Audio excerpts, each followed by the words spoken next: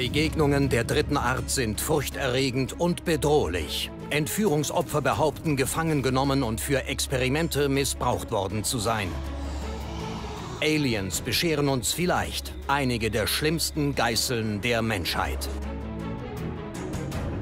Wonach suchen Außerirdische auf der Erde? Haben sie es auf unseren Planeten abgesehen? Oder auf die Menschheit? Erfahren Sie die Wahrheit über Begegnungen mit Aliens und warum der erste Kontakt mit ihnen auch der letzte sein könnte. Bei Unsealed Alien Files. Eine weltweite Initiative hat begonnen. Geheimakten mit detaillierten UFO-Berichten, jahrzehntelang vor der Öffentlichkeit verborgen, sind jetzt frei zugänglich. Wir enthüllen die Wahrheit hinter diesen Dokumenten und finden heraus, was die Regierungen verschweigen. Unsealed Alien Files auf der Spur der größten Geheimnisse der Erde. Begegnungen mit Aliens gibt es weltweit. Beschrieben als Lichtpunkte am Himmel. Oder ein flüchtiger Schatten in den Wäldern. Nahbegegnungen können auch tödlich enden. Entführungen durch Außerirdische halten die meisten für Hirngespinste. Aber sie hinterlassen Spuren, etwa Fußabdrücke, Narben und Implantate. Dayton, Texas, 29. Dezember 1980. Betty Cash, Vicky Landrum und ihr siebenjähriger Sohn Colby fahren auf einer einsamen Autobahnstrecke in Texas. In der Ferne erscheinen Lichter über den Baumwipfeln. Die Frauen halten an. Alle drei steigen aus, um das kristallartige Flugobjekt besser sehen zu können, das über den Bäumen schwebt. Die drei kehren zum Auto zurück. Sie wollen wieder einsteigen, doch der Türgriff ist zu heiß. Plötzlich sendet das Objekt einen Lichtstrahl aus, der Betty Cash, Vicky Landrum und ihren Sohn Colby erfasst. Die drei erstarren vor Angst. Der ohrenbetäubende Lärm von Rotorblättern reißt sie aus der Schockstarre. Plötzlich nahende Militärhelikopter verjagen das UFO. Fast unmittelbar darauf wird den drei Opfern schwindelig. Sie müssen sich übergeben und fühlen sich schwach. Ihre Haut weist Verbrennungen auf. Betty Cash fallen später büschelweise Haare aus. Ihre Haut löst sich ab. Am 3. Januar 1981 kommt sie für 15 Tage ins Krankenhaus. Laut Radiologiebefund waren alle drei hoher ionisierender Strahlung ausgesetzt. Warum schwebt ein UFO über dem Wald und attackiert grundlos drei Menschen? Am meisten verstört die schnelle und effiziente Reaktion der US-Armee. War sie auf so einen Angriff vorbereitet? Anders lässt sich das alles nicht erklären. Solche Begegnungen sind keineswegs selten. 4% der Weltbevölkerung und damit 280 Millionen Menschen behaupten, nicht nur Aliens begegnet zu sein, sondern entsetzliche Dinge erlebt zu haben. Freigegebene UFO-Akte. Die Entführung von Travis Walton. Arizona, 5. November 1975. Der Waldarbeiter Travis Walton fährt mit seinem Team nach der Schicht heim. Als er ein helles Licht über den Bäumen aufblitzen sieht. Neugierig geworden, steigt er aus und geht darauf zu. Da entdeckt er eine große silberne Scheibe, die sich als Quelle des gleißenden Lichtes entpuppt. Walton und seine Kollegen wollen sich das näher anschauen. Er bereut es sein Leben lang.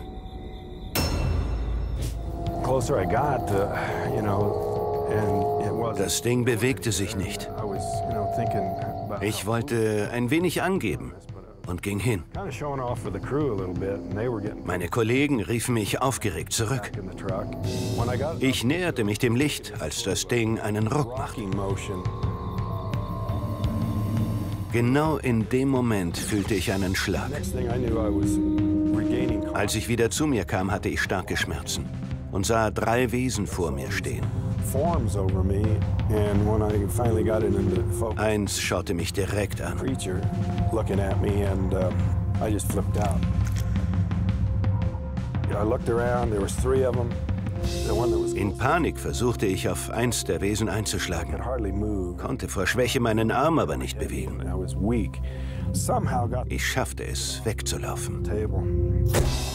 Travis wird mehrere Kilometer vom Entführungsort aufgefunden und glaubt, nur ein paar Stunden in der Gewalt der Aliens gewesen zu sein. Das Verstörende daran, er war fünf Tage verschwunden.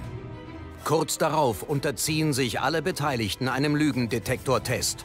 Eine Frage lautet, ist es wahr, dass Sie letzten Mittwoch, als Travis Walton verschwand, ein UFO gesehen haben?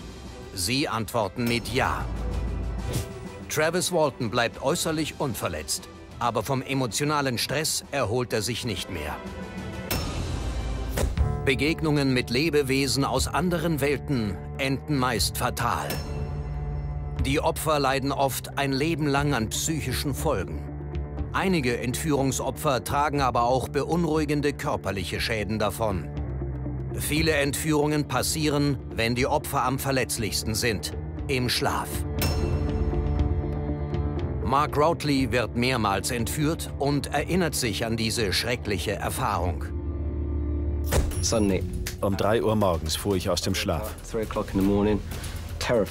Ich war vor Schreck wie gelähmt. Im Zimmer standen drei Aliens. Ich war bei vollem Bewusstsein, klar im Kopf und hellwach.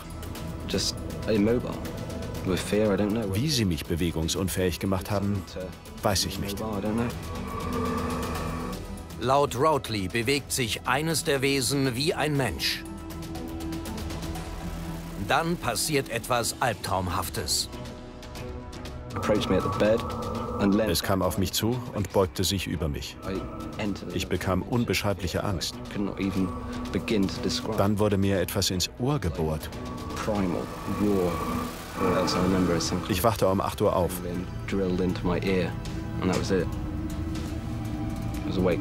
An die vergangenen fünf Stunden kann ich mich nicht erinnern.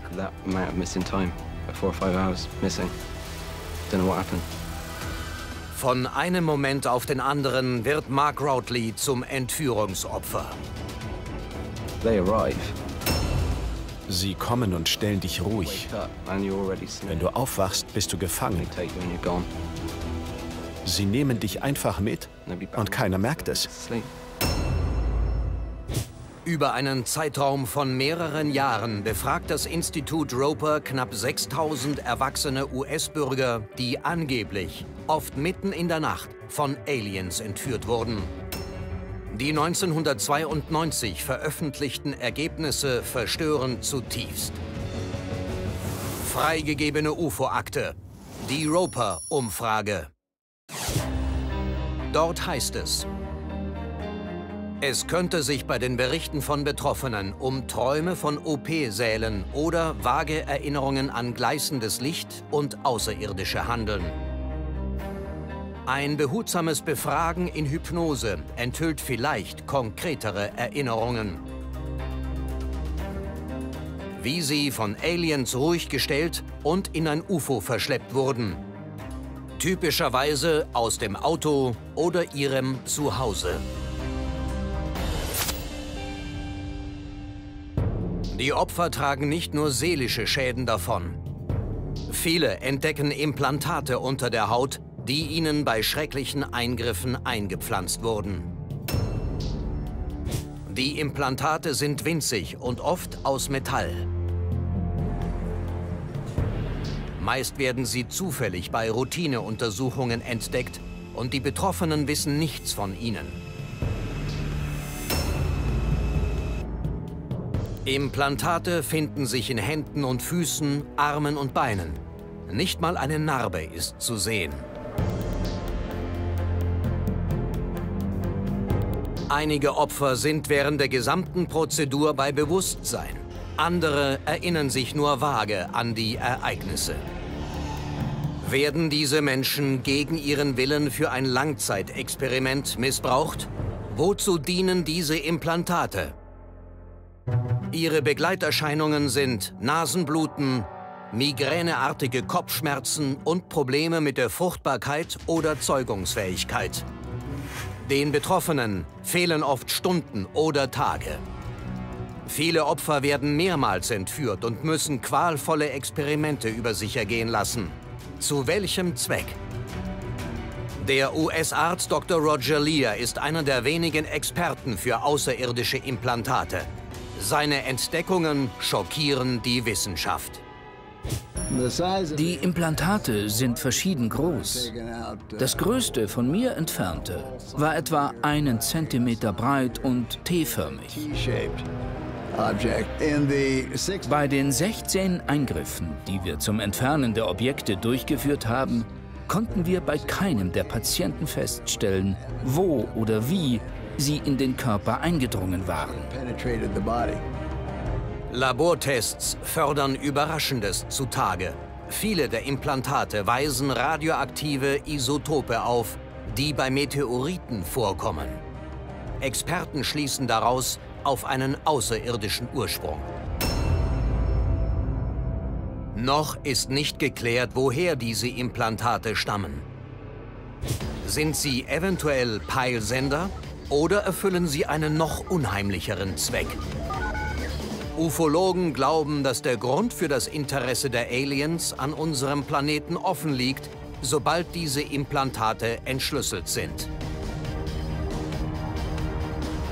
Werden Entführungsopfer zu Waffen, die die Menschheit in die Knie zwingen sollen?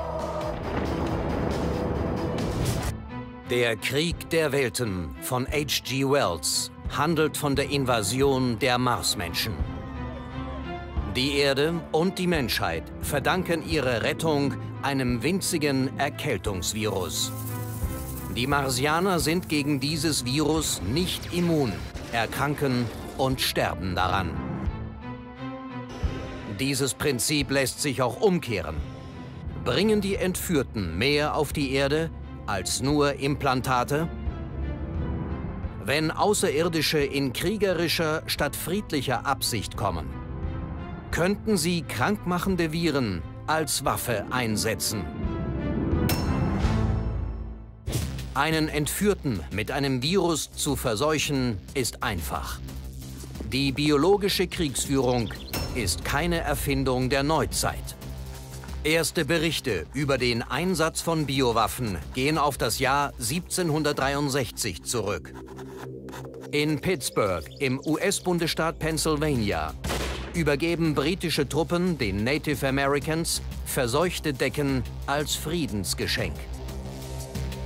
In einer Aufzeichnung heißt es, wir überreichten Ihnen zwei Decken und ein Handtuch aus dem pockenverseuchten Krankenhaus. Ich hoffe, das erzielt die gewünschte Wirkung. Die Krankheit breitet sich fast ungehindert aus. Pockenwellen raffen unzählige Menschen dahin. Wozu sind dann erst weit höher entwickelte Aliens fähig? Wenn Außerirdische Biostoffe oder ein Virus auf die Erde bringen möchten, dann könnten sie das ganz einfach tun. Sie müssten unseren Planeten nicht einmal selbst betreten. Es gibt mindestens zwei dokumentierte Meteoriteneinschläge auf der Erde, die mit einem Virus oder Bakterium in Verbindung stehen und für die wir keine Erklärung haben. Viele Krankheiten kommen scheinbar aus dem Nichts.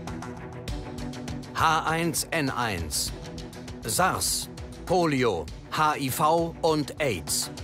Sie tauchen plötzlich auf, wüten auf der Welt und dezimieren die Bevölkerung. Stammen diese und ähnliche Virenstämme von anderen Planeten? Sollten dadurch tödliche Krankheitswellen ausgelöst werden, nicht alle Versuche erfolgen heimlich. Eine berühmte UFO-Sichtung, die Tausende beobachten, gipfelt in einer der tödlichsten Krankheiten unserer Zeit. Freigegebene UFO-Akte. Fatima, Portugal. Vor gut 100 Jahren gab es in Fatima eine Marienerscheinung. Die Mutter Gottes übermittelte drei kleinen Mädchen angeblich Geheimnisse, über die sie Stillschweigen bewahren sollten. Und das taten sie, bis ins 20. Jahrhundert. Ufologen glauben, dass es sich in Fatima nicht um die heilige Jungfrau Maria handelte, sondern das Außerirdische. Diesen drei kleinen Mädchen Prophezeiungen aus der Zukunft überbrachten, die für die Gläubigen gedacht waren. Augenzeugen berichten, dass die Sonne bunte Lichter aussendete, die sich am Himmel zu immer neuen Mustern zusammenfügten. Mehrmals während der Erscheinungen gingen heftige Regenfälle nieder. Tagelang berichten die heimischen Medien vom Wunder von Fatima. Im Januar 1918, nur drei Monate nach der letzten Erscheinung, wird die Welt von einer der bis dahin schlimmsten Plagen heimgesucht, der spanischen Grippe. Das Virus infiziert mehr als 500 Millionen Menschen und tötet etwa 5% der Weltbevölkerung. Übertragen die Regenfälle in Fatima ein todbringendes außerirdisches Virus? Haben Aliens unseren Heimatplaneten in eine tödliche Waffe, die alles Leben zerstört, verwandelt? Fatale Begegnungen mit Außerirdischen könnten zunehmen. Aliens könnten die Erde aber auch aus großer Distanz wirkungsvoll angreifen. Eine Bombardierung unseres Planeten aus sicherer Entfernung mit verseuchten Meteoritenteilchen könnte auch ohne unser Wissen erfolgen. Außerirdische Technologien beherrschen vielleicht unsere Umwelt. Sind Aliens in der Lage, die Ökosysteme auf unserem Planeten in Waffen gegen uns zu verwandeln? Es strotzt nur so vor Beweisen, dass die Welt am Abgrund steht. Das Klima spielt verrückt. Die Pole verschieben sich. Es ist offensichtlich. Wir stehen kurz vor der Auslöschung. Bereiten Außerirdische die Zerstörung des Lebens auf unserem Planeten vor? UFOs werden kurz vor Naturkatastrophen gesichtet. Laut UFO-Experten kommt es Monate vor dem Tsunami 2011 gehäuft zu UFO-Sichtungen. Diese Naturgewalt bringt Japan an den Rand einer nuklearen Katastrophe. Sind diese Ereignisse ein Beweis dafür, dass Aliens die Erde zerstören möchten? Können wir überhaupt überleben, wenn selbst Mutter Natur nur ein Spielball der Aliens ist?